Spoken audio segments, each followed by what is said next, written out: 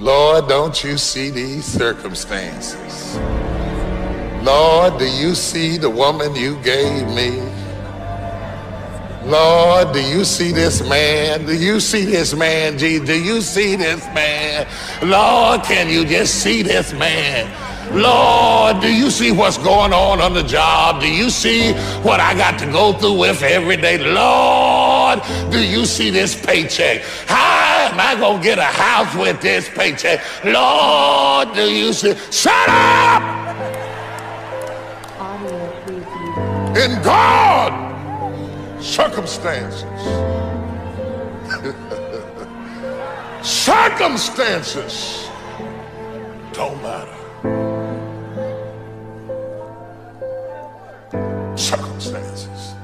Shandobokoshai. Circumstances don't matter. Did I know I got on national Christian television in a storefront with no staff. I had two people on staff. That's no staff for television. I got on national television with one tape duplicator. I got on national television with $8,000, I think it was, in the bank. You can't pay for a 30 seconds, 30 minute show with $8,000. One show. I got on national television. Nobody knew who I was. I didn't come from a big church. I didn't come from a big pastor. I didn't come from a big city. But when God opens up a door, circumstance.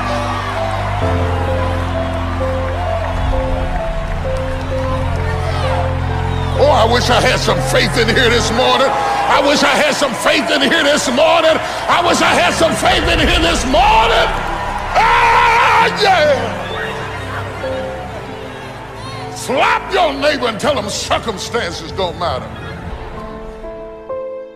We all have things that we're believing for, dreams that we want to accomplish, problems we're hoping will turn around. Maybe it's to see our family restored, to lose some weight, to break an addiction, to start our own business.